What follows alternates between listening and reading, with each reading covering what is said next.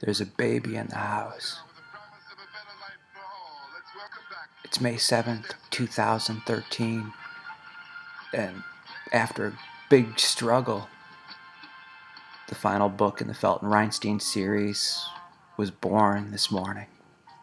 Please welcome. I'm with Stupid into the world.